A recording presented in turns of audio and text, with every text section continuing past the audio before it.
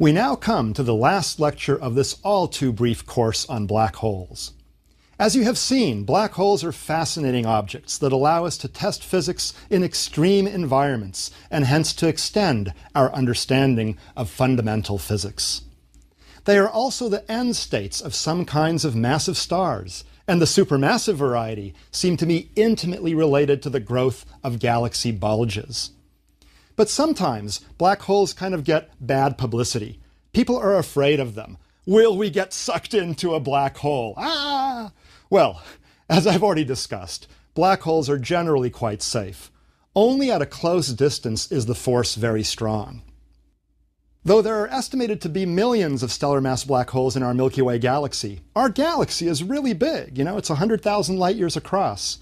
So the nearest of these stellar mass black holes is probably over 100 light years away. It would need to be within our solar system to have a major effect. Indeed, nearby passage of regular stars poses a bigger threat to disrupting Earth's orbit than a black hole wandering around, you know, aimlessly in the galaxy. But recently, mini black holes have been much in the news as a possible threat to our existence. In particular, rumors have spread that the Large Hadron Collider might produce a miniature black hole that will devour the Earth and its inhabitants. Certainly, we wouldn't want that. But perhaps such fears have roots in science fiction starting from the 1970s. For example, in 1973, Larry, Larry Niven wrote a short story, The Hole Man, in which a quantum black hole from an alien device on Mars was released, and it actually destroyed Mars. Also, in 1990, David Brin had a book, a novel, Earth, where scientists race to avert destruction of our planet by a mini black hole. And more recently, in 2006, there was the made for TV movie Black Hole, where something went wrong at a particle accelerator lab and a mini black hole formed, eating much of St. Louis. Also, some sort of weird energy monster emerged from the black hole and caused many, many problems. Here's a related cartoon, in fact. Professor McGuire was fast regretting becoming the first man to successfully create a mini black hole in the laboratory. this is great. You know, again, part of pop culture. You can't escape black holes in pop culture. Well, as I'll explain in this lecture, you are safe. Have no fear. Even if the Large Hadron Collider produces mini black holes, which is not at all certain, they pose absolutely no threat to us, none whatsoever. On the contrary, it would be highly exciting if such black holes were produced. They might imply the existence of other dimensions. Wow. Well, first, let me explain some terminology. Hadrons are particles that consist of more fundamental particles called quarks, bound together by the strong nuclear force. Among the hadrons are mesons, which consist of a quark antiquark pair, and baryons, which are made of three quarks. The most familiar bar baryons are the protons and neutrons, more generally called nucleons, because this is what the nuclei of atoms consist of. Now, a proton consists of two up quarks and a down quark. These are whimsical names given to quantum properties of these quarks. The up quarks each has a charge of two thirds of a unit. The down quark has a charge of negative one third. So you add those together and you find that the proton has one charge unit. The neutron has two downs and an up, and so it has no charge. The two negative one thirds add to the positive two third to give no charge. And the other quantum properties agree with the properties of protons and neutrons. Now, leptons are the other major kind of particle. They do not consist of quarks. The electron and the, and the neutrino, for example, are leptons. They feel a different kind of a force known as the weak nuclear force. So what is the Large Hadron Collider, or LHC for short, and why has it been built? Well, it's a giant underground particle accelerator at CERN, the European Organization for Nuclear Research, near Geneva, Switzerland, on the French border. Over a hundred countries, including the United States, are participating in this vast project. It's estimated that there are 10,000 scientists and engineers involved. This is big time science. An aerial view shows this ring, this circular ring, 27 kilometers in circumference. It contains evacuated tubes and they have supercooled superconducting magnets in them that accelerate protons to 99.9999991% of the speed of light. That's fast, but not quite the speed of light. This is the most powerful particle accelerator humans have ever built. The protons move so fast that they can go around this ring 11,000 times in one second. You try doing that in your little car, okay?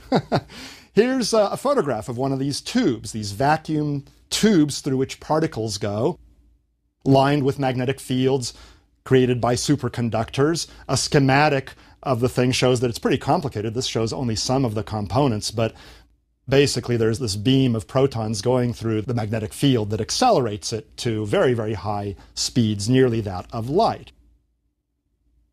You collide these bundles of oppositely going protons that are going through the tube. They, they can collide in certain places where there are instruments manufactured that can measure the particles that come out as a result of the collisions. You get a spray, a zoo of particles at the places where these oppositely directed beams of protons collide with one another.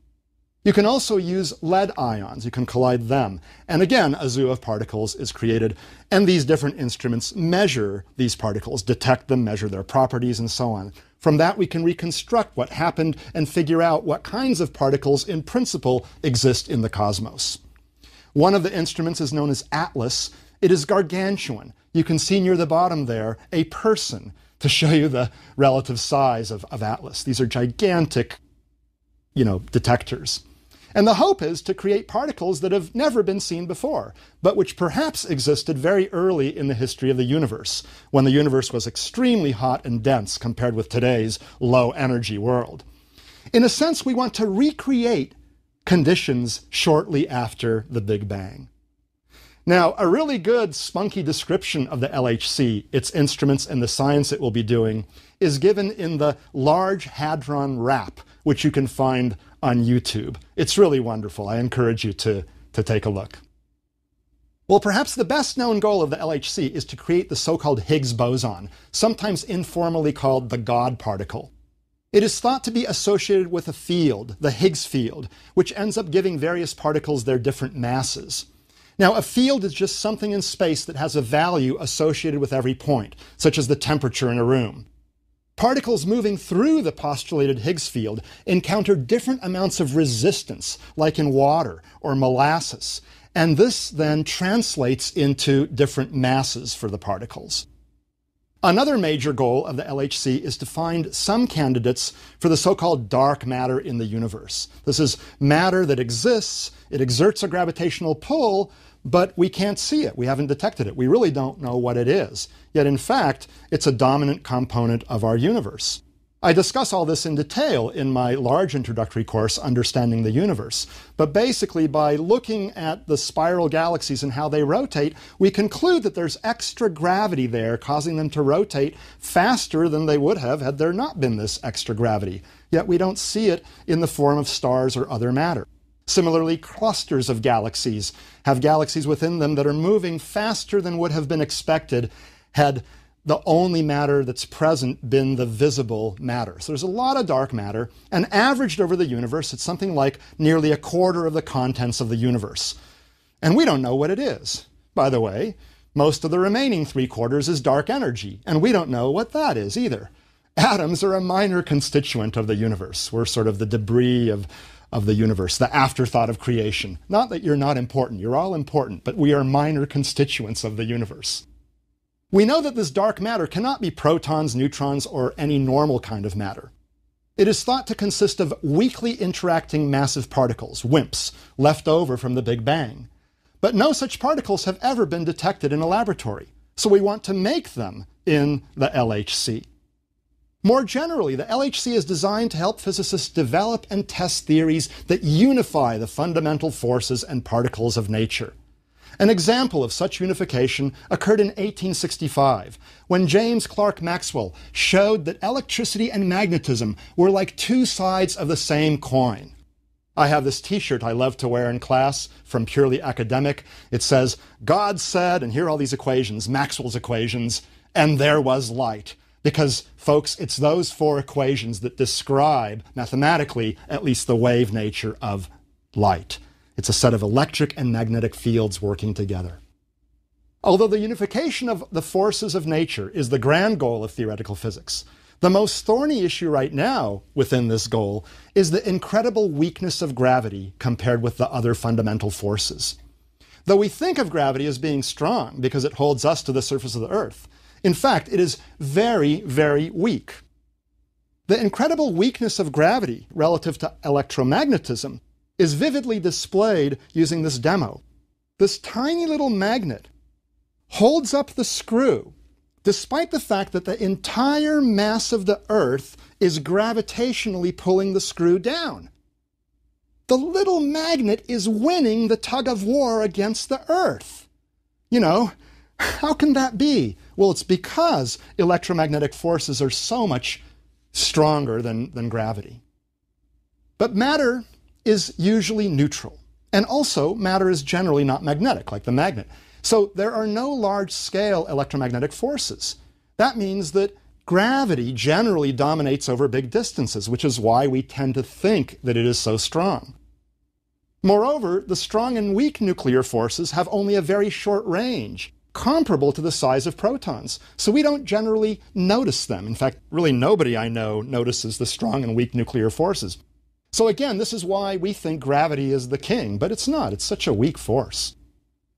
One of the most promising recent ideas for explaining the incredible relative weakness of gravity is that there are, there are additional macroscopically large dimensions, not just our familiar three dimensions of x, y, and z. Our three dimensional universe might be like a brane, short for membrane, floating around in a higher dimensional bulk. Now, if gravity resides mostly in some of these other dimensions, with just a little bit leaking into our three familiar dimensions, its true strength in the higher dimensional space might be comparable to that of the other forces in our three dimensional space or brane. That's the idea.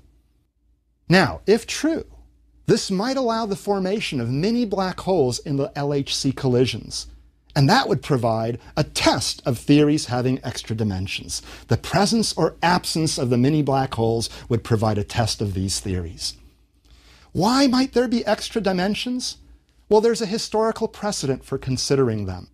In 1919, Theodore Kaluza suggested that there are four, not three, spatial dimensions.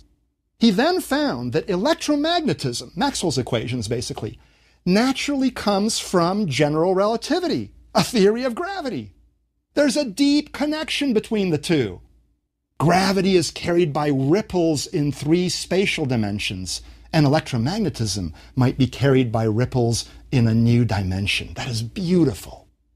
Now, in 1926, Oscar Klein refined this idea. He said, well, we don't see this fourth dimension. So he said the extra dimension might be curled up not just a circular bump within the familiar extended dimensions, not like a wart on my skin or something, but a tiny new dimension existing at every point. Everywhere there, that you look, there's this extra little dimension sitting around. Its size might be possibly comparable to the Planck length, 10 to the minus 33 centimeters, 20 orders of magnitude smaller than a proton. String theory is the modern day, much more developed version of this idea. The idea is that particles are bundles of energy called strings, roughly a Planck length in size, and they vibrate in many dimensions. Different particles are different vibration patterns of strings, like musical notes. And the vibrations occur in the other dimensions, and for the math of string theory to work, you need at least 10 dimensions, and 11 are now favored the three spatial dimensions, x, y, z, time, a fourth dimension, and either six or seven additional dimensions.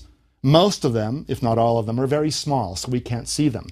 But in fact, some might be big. As an example of a small dimension, consider a sheet of sandpaper seen from far, far above it. It looks two dimensional. If you were a bird flying way above it, you'd say, hey, there's a two dimensional sheet of paper. But if you swoop down and look at it under a microscope or a magnifying glass, you would see the granularity. You would see this third dimension sticking up at every point. But some of the dimensions could be macroscopically large, with gravity residing partly or perhaps even predominantly in these other dimensions. The LHC can test this hypothesis by seeing whether mini black holes are produced by the proton collisions. Let's explore the rationale behind this conclusion. If gravity resides partly in another dimension, then the 1 over r squared force law of Newton would be incorrect. The 1 over r squared force law of gravity comes about in three dimensions in a way similar to the inverse square law of light. If you look at a light bulb from twice the distance, it looks a factor of four fainter. At three times the distance, it looks a factor of nine fainter because the same bundle of rays is going through four and then nine unit areas, and each unit area therefore gets less of the light. If, however, you had, say, a circular pattern like this in two dimensions, light spreading out would go through a circumference, and the circumference of a circle is proportional to the radius, so light would have a 1 over r, an inverse distance dependence, not an inverse square dependence. Well, it's the same way with gravity. Normally, we think that gravity spreads out in three dimensions, giving rise to the inverse square law. But really, if it goes out in two dimensions, it would be a 1 over r, an inverse linear law. And in fact, if gravity went out only in one dimension, its strength wouldn't change at all with distance because it's not spreading out, as you can see here. So in fact, suppose you have a long big dimension and then a curled up small dimension. Now, close to a point source, gravity lines would be spreading out radially like this. And so bigger and bigger circles would encompass all these lines, but that would mean that the number of lines per unit length on each circle would go down. This would be a 1 over r law, like I just described. But far from the point source, the lines of force, the lines of gravity are not spreading out. So in this case, it would be like the linear example I just showed you. The law of gravity would be constant with distance. So here's a case where gravity doesn't depend at all on distance on big scales, but it does depend on distance over short scales. And in fact, it becomes stronger than anticipated over short scales. Now, in our solar system, we've done tests that show that our gravity law is not 1 over r cubed. But 1 over r fourth is not yet completely ruled out. There are some experimental tests that show that if it is 1 over r fourth, then the general scale over which such a force law could be visible is less than a few tenths of a millimeter. But it's not yet ruled out. And an even greater dependence on distance, say 1 over r to the fifth, is entirely possible. So gravity could be much stronger over very short distances than what we had thought. Now, if gravity is a 1 over r squared law, as in 3D, it is not strong enough to produce mini black holes when particles are smashed together at high energies in the LHC. There simply isn't enough mass in a sufficiently small volume. However, if gravity feels extra dimensions on small scales, it could be strong enough to form miniature black holes having a thousand or 10,000 proton masses. There are two factors that contribute to this. First of all, if gravity is stronger on small scales, it's easier to trap a lot of material.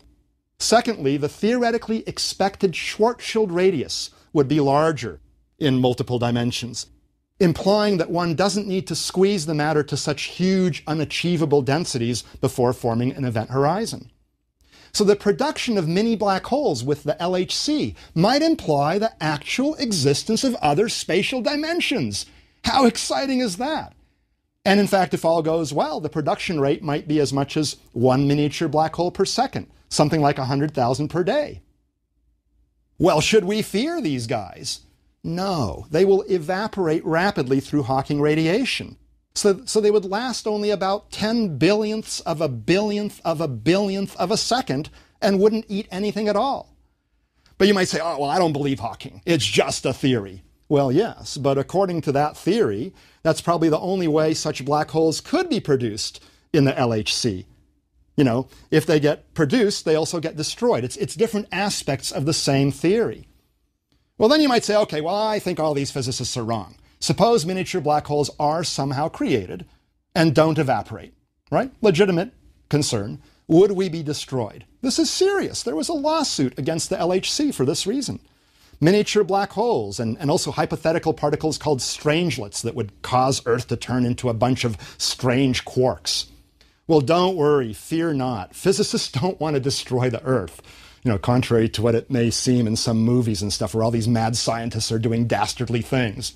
We've carefully considered the possibilities. The lawsuits are frivolous. First of all, the strangelets would already have been created by a facility called the Relativistic Heavy Ion Collider, but this was not the case. You know, no strangelets. So now let's consider miniature black holes. These black holes, having 1,000 to 10,000 proton masses, would have a tiny radius, but you need to use a different formula for computing the Schwarzschild radius. It would be tiny, but not as tiny as the standard formula it would be 10 to the minus 16 centimeters, about 1 one thousandth of a proton radius. Okay, that's really small. Now, gravity is, is weak, so you really only have to consider the cross sectional area of one of these black holes in terms of its interactions with other particles. It's not going to go around sucking things in, it just doesn't have much gravity, okay? So let's consider the cross sectional area, 10 to the minus 32 square centimeters. The Earth's average density is about 5.4 grams per cubic centimeter. Black holes typically travel 300 kilometers before encountering a proton or a neutron. That black hole probably wouldn't even eat the proton and neutron since the black hole is a factor of 1,000 smaller in radius.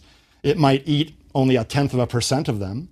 But suppose, to be conservative, it eats all the nucleons that it ever encounters, okay? Well, with each nucleon, it'll gain a mass of just 0.01 to 0.1% per encounter and the trajectory won't be changed by eating this thing. You know, you're just eating a little snack and you keep on going in the same direction. After about 40 encounters, you know, at most 40 munched nucleons, it leaves Earth, you know, 300 kilometers between encounters, 40, 40 encounters, it's gone. And you find that, in fact, in the calculations, mini black holes should generally not be at rest. When you study the details of the collision process, you find that most of them are moving. Only one in a hundred thousand to one in a million have a speed less than the Earth's escape velocity. So most of them should escape after one pass through Earth. At most one per day will remain bound. So if one per day are created at rest, it could oscillate through the Earth back and forth. It turns out it takes 42 minutes to do a pass through the Earth, regardless of the path you take. This is an interesting fact. It's called the Gravity Express. You go through in 42 minutes kind of cool because 42 is the answer to the question of life, the universe, and everything, according to Douglas Adams. All right, so 40 encounters per 42 minutes, one crossing time. Roughly 500,000, let's call it a million nucleons would be eaten per year by the black hole. Even if you create a thousand mini black holes in three years, that's less than a billion nucleons per year being eaten. You figure out how many nucleons there are in the Earth, 3 times 10 to the 51st power. One billionth of them is 3 times 10 to the 42nd power. The eating rate is 1 billion per year. So it would take 3 times 10 to the 33 years to eat 1 billionth of the Earth. Well, in 3 billion years or so, the sun is going to become way too bright so for us to even exist. By that time, only a minuscule fraction of the Earth will have been eaten. We're off by 24 orders of magnitude in time, 10 to the 24th power to eat just one billionth of the Earth. And this is the pessimistic estimate. We have assumed all nucleons would be eaten by the black hole, but really only one in 1,000 would be. Now, even if no mini black holes escape from the Earth, you've got 100,000 per day instead of one per day, so that brings the discrepancy down to only 19 orders of magnitude. Even if you allow black holes to grow as they eat, you gain just a few orders of magnitude. You're still off by at least 15 orders of magnitude. Even if you want to lose less than a billionth of a billionth of the mass of the Earth, you're off by six orders of magnitude. Even if many more black holes are created than we thought, you still calculate that it would take thousands of billions of years to eat any significant fraction of the Earth. It's just not going to be eaten. Don't worry. Another argument is that extremely energetic cosmic rays exist in the universe. They are rapidly moving charged particles produced by exploding stars, gamma ray bursts, quasars, and other active galaxies. Now, the highest energy cosmic rays have energies much higher than those achievable by the LHC. Collisions with Earth would have produced mini black holes long ago, yet the Earth has not been devoured. Well, you might say, oh, that's because the mini black holes produced by cosmic rays go zipping through the Earth, one pass, and escape.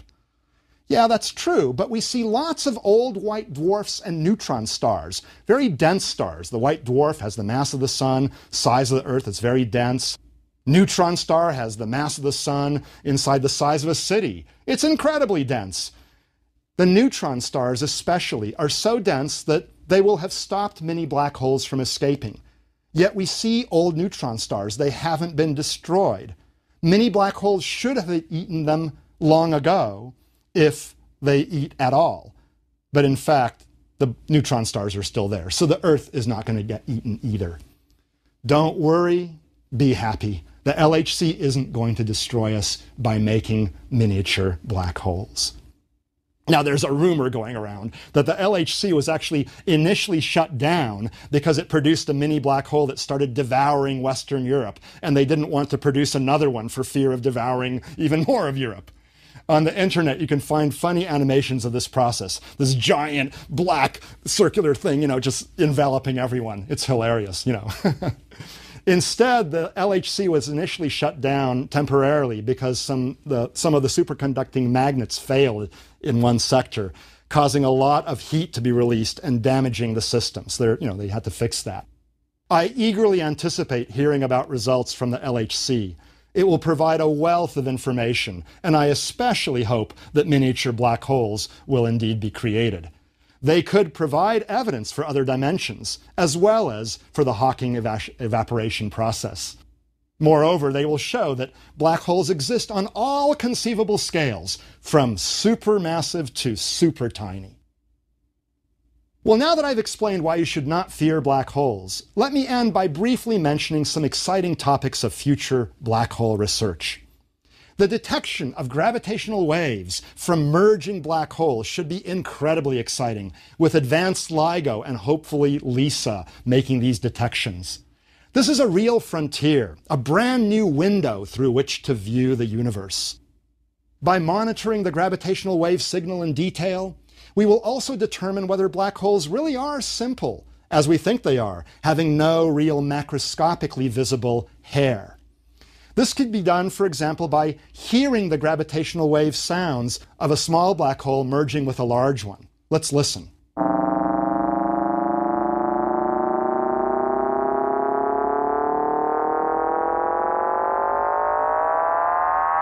Ah, From that signal, you can actually probe space time around the black hole. How great is that?